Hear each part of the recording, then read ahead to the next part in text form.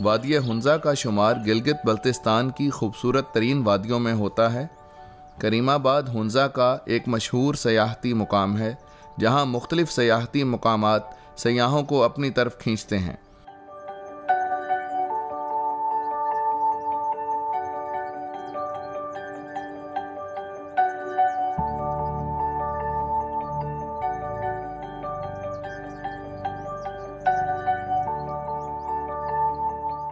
جبکہ مختلف دستکاریاں بھی اس علاقے کی خاص پہچان ہیں۔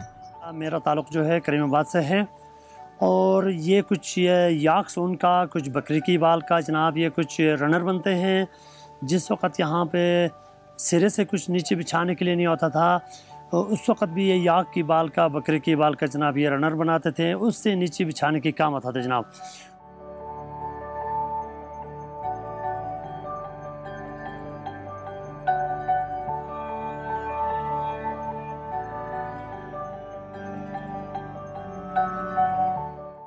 یہ والدہ کا عمر جو ہے نبے سال کے قریب پہنچ گئی جناب، یہ ان کی عمر جو ہے، اور اس عمر میں بھی یہ یہ تیرہ سال سے انہوں نے یہ ٹوپیاں بنانا اور اس کام انہوں نے سیکھا تھا اپنے والدے سے، اور اس عمر میں بھی یہ ٹوپیاں بنا رہی ہے، اور اس بنا چشموں کی، اور یہ اپنے شوق سے جناب یہ والدہ بنا رہی ہے اور اسی طرح یہ خواتین جو ہے، یہاں کی ہمارا ثقافت، ہمارا کلچر، یہ خواتین جو جناب یہ سر پہ لے لیتی ہیں یہ ٹوپیاں اور اس عمر بھی یہ والدہ بنا رہی جناب یہ ٹوپیاں۔ اپنی دستکاریوں میں سے ایک قدیم اور روایتی دستکاری پٹو سازی ہے۔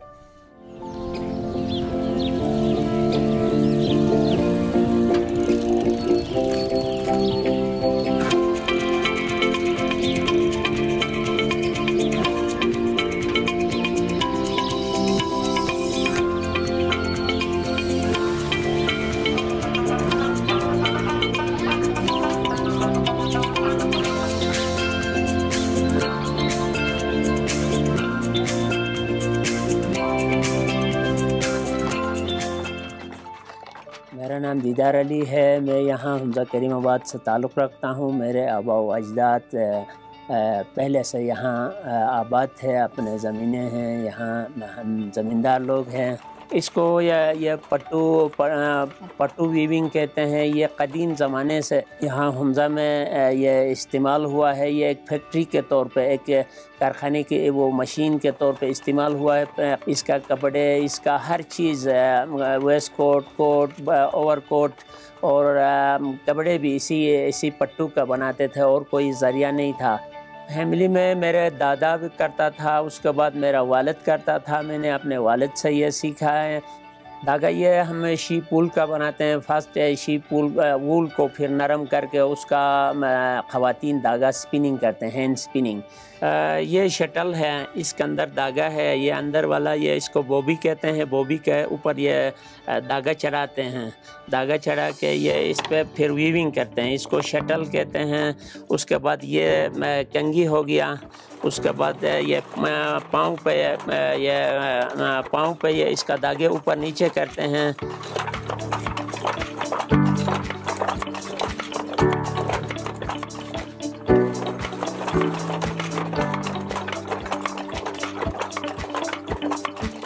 یہ اندر والا یہ داغا یہ تانا ہو گیا۔ اس کو ہم جو بانا کہتے ہیں، جو ویونگ کرتے ہیں، اس کو بانا کہتے ہیں۔ جو تانا ہے ادھر سے تانا آتا ہے، یہاں سے، یہاں بانا بن گیا تو تانے کو لوز کر کے، پھر بانے کو ٹائٹ کر کے، پھر اس کو لپیٹتے ویونگ کر کے لپیٹتے ہوئے لے آتے ہیں۔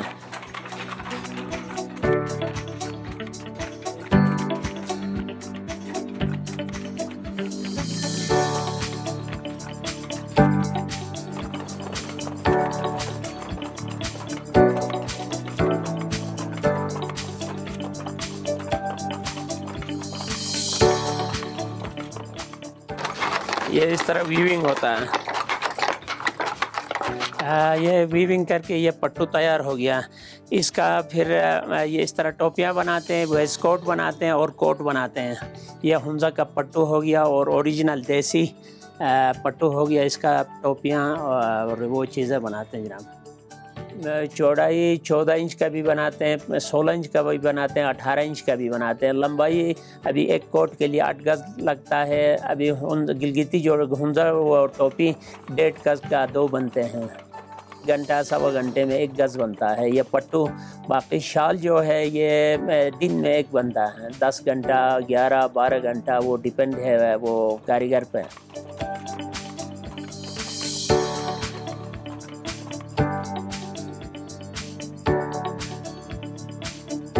ابھی پورا حمزہ میں میرا یہ واحد کھڑی ہے۔ میں میں لاسٹ میں ویور ہوں، میں یہ کام کرتا ہوں۔ اصل میں محنت زیادہ ہے، اس کا اجرت کم ہے۔ اس لیے لوگوں نے یہ سارا چھوڑ دیا ہے۔ میرا شوق بھی ہے اور ضرورت بھی ہے، میں اس لیے کرتا ہوں۔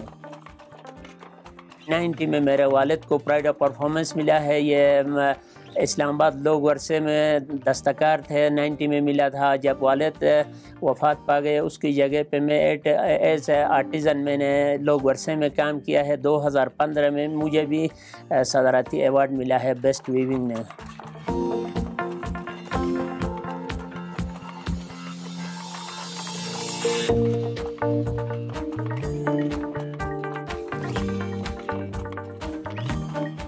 ہمارے ملک میں جتنا بھی دستکار ہے، ان کا حوصلہ افزائی کروانا چاہیے۔ بہت محنت والی کام ہے۔